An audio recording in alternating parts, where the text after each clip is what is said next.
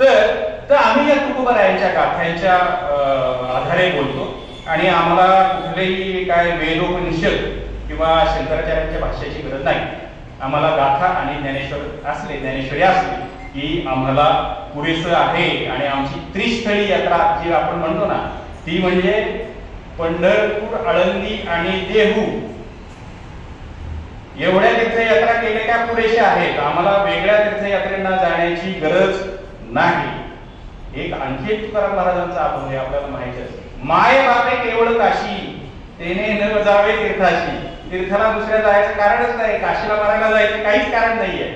तुम्ही आई वडील हेच आपली पर- आपल्याकडे विठ्ठल रुक्माई असते ना हे आई वडिलांची प्रतीक आहे. त्यांची सेवा करणं हाच आमचा खरा धर्म आहे. वाटेल धर्म हाच आहे. म्हणून तर आपण नाही का गजर केला पुंडलिक वरदे. वर दिलाय त्याला जो आई वडिलांची सेवा करेल. त्याच्या पाठीशी मी उभा आहे. मी त्याच्या विचारांचा आहे. मी त्याच्या बाजूचा आहे. मी त्याच्या पाठीशी उभा आहे. असं देवाने वचन दिलंय. आणि म्हणून तर आपण जातो ना पंढरपूरला जातो. चंद्रभागे स्नान नंतर कुंडलिकाचे दर्शन पुंडलिकेच्या दर्शनानंतर देवाचं दर्शन आहे. म्हणजे एक वेळी देवाचं दर्शन नाही झालं तर चालेल. कळसाचं दर्शन झालं चालेल. पण पुंडलिकाचं दर्शन चंद्रभागेचं स्नान म्हणजे आपल्या विमान दिसत ना हे करणं मस्त आहे. का? तर तुम्हाला त्याची जाणीव व्हावी की आपले आई वडील हीच आपली परमेश्वर ही आपली दैवत आहे. आपलं घर कुटुंब हे पहिल्यांदा महत्वाचं. तिकडे तुकडोजी महाराजांनी पण असं म्हटलं की जीव भावानं जव मी पाहिलं माझं गावच मंदिर शोभलं माझं गाव. पुंडलिक ही मुले रोजी त्यांना शिळेचं फुलं मी वाहिलं आपली मुलं आपला संसार आपलं कुटुंब आपलं गाव हे महत्वाचं आहे. आणि त्यांची सेवा करणं ह्याला प्राथमिकता द्या. म्हणजे कुठली कर्मकांड करण्याची गरज नाहीये. म्हणजे न लगती साया असे असे काही पडतात. ज्ञानदेवांचा अभंग आहे. जावे वनांतरा आणि सुखे तो घरा नारायण. थाईचं बेसुनी करायची एकचित्त. आवडी आनंद आळवावा तुम्ही ज्या जागी आहात ना तिथे बसून देवाचं भजन नामस्मरण काय ते करा. पंढरपूरला जेव्हा कोरोनाच्या काळामध्ये सगळ्याच मंदिरांमध्ये काही लोकांनी आंदोलनं सुरू केली होती. आमचा देव बंद केला वगैरे काय ते देवाला देवही वाटवात असेल भाग होते. पण संतांनी हे जे सांगितलं ना तुमचा तुमचं काम हाच तुमचा राम आहे.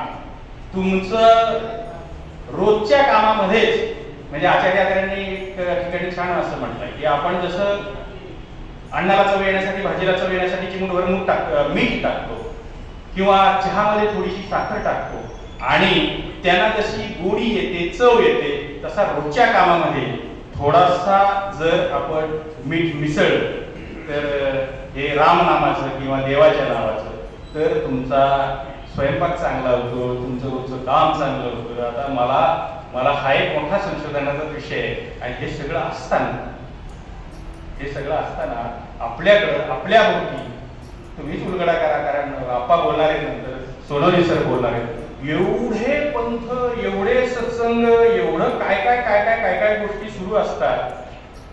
जर तुम्हाला प्रमाण करत नाही बरं हे काही तोंडीच आणि सांगवांगीचं नाही. जर तुम्हाला आपल्याला पवारचा प्रमाण ग्रंथ आहे ज्ञानेश्वरी आणि तुकोबा म्हणजे पवार सरांची कविता कशा कवितेचं मूळ कशात आहे तर ते तुकोबांच्या अभंगामध्ये आहे. एवढं जर तुम्हाला मुलं घट्ट धरायला गोष्टी आहेत. तर आपली मंडळी आम्हाला जरा चिंतेचाही विषय वाटतो. की वेगवेगळी सत्संग मंडळ आहेत बाबाजी आहे माताजी आहे सद्गुरू आहे योग्या आहेत बैठका आहेत आणि ते काय काय काय काय आपण अवतीभोवती पाहतो.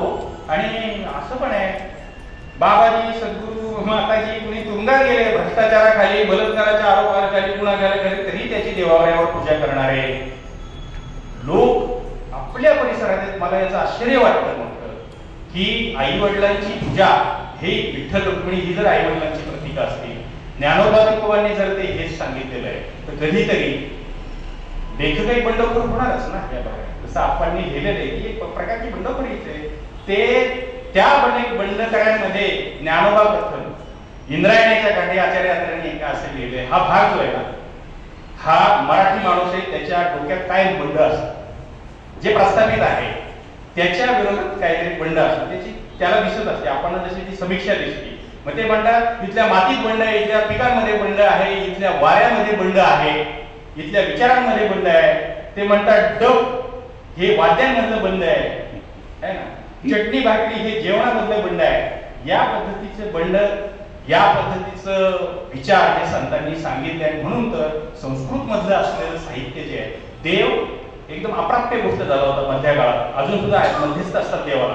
देवाला तुम्ही जे विठोबा एकमेव देव आहे की ज्याच्या पायावर जाऊन तुम्हाला डोकं ठेवता येतं चिंतन करता येतं डोळे मिटून. देवाला भेटण्यासाठी मध्यस्थांची गरज नाही असं संतांनी सांगितलं. दळिता कांडिता तुझं गायन अनंता असं जनाबाई म्हणाल्या. किंवा आमची माळी याची जात शेत करू बागायत असं संत सावकार माळी म्हणाले. किंवा आम्ही वारीक वारीक करू हजामत बारीक असं सेना महाराज. म्हणाले आपल्याला पाठ सगळं म्हणजे.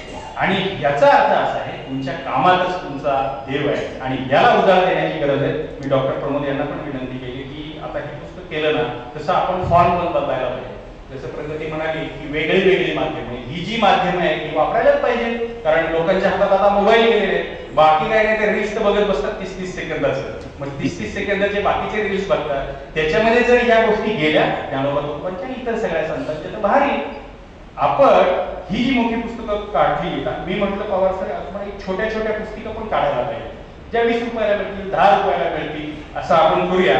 आणि मला या निमित्ताने एक गोष्ट सांगायची ती म्हणजे जसं आपण आई वडिलांचं म्हणत होतो ज्ञानोबा माऊली असं म्हणतात एथ वडील जे जे करती तया नाम धर्म ठेवी.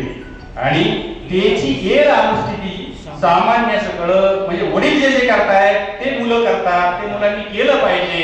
ते करणं म्हणजे धर्म जपणं. धर्माची व्याख्या एवढी साधी आणि सोपी. म्हणून आपण जे केलंय ते तुम्ही आम्ही आपण सगळेजण करूया असा संकल्प या निमित्ताने व्यक्त करतो. आपण